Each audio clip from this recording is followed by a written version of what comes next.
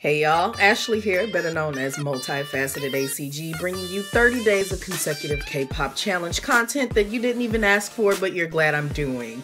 Today is day 12.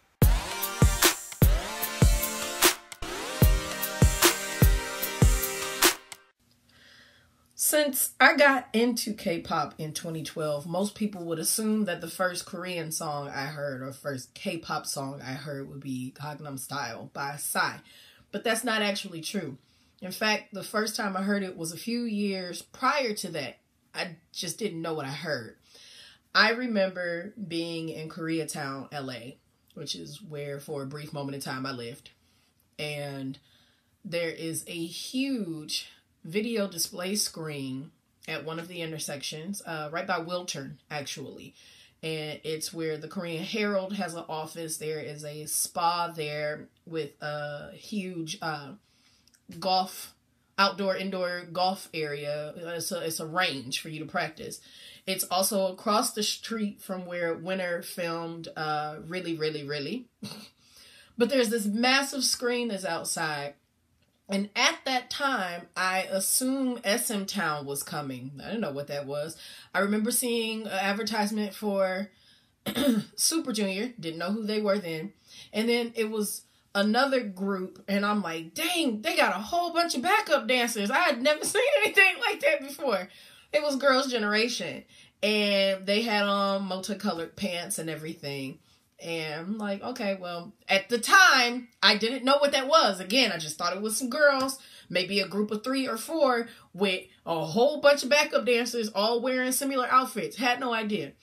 Um, I had a friend then uh, named Jessica. Um, she took me to get some Korean food one time, and then I heard.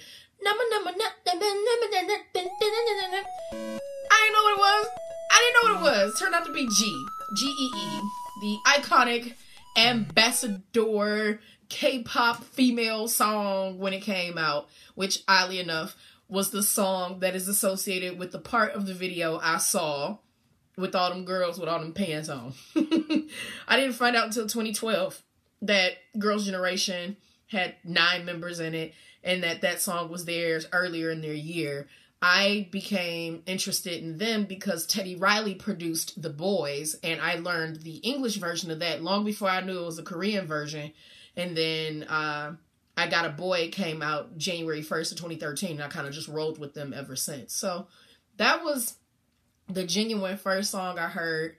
Um, I was extremely ignorant to social differences, so I just heard as background noise in my head. I knew that the song could not have been Japanese because I was familiar with that already. Um, I just I didn't know there was no way to know that so many years later it would, you know, be such an iconic piece in in the soundtrack of my life, and uh, such an iconic piece in general. So that's the first song I heard. I had to really think and piece together the chronological. Look at that. Can't even talk, y'all. I'll be struggling on these videos. Hopefully, the next few, I won't have such a hard time. what was the first song you heard, though? Let me know in the comments below. And I am reading the comments you all are leaving on the past videos, by the way. So keep it coming. If you like this video, make sure to click the subscribe button as well as the notification bell because it's at least two steps involved with subscribing and getting notice for my channel. Make sure to share it with your other K-pop fans and leave some comments down below. I will check you in the next video. Bye, y'all.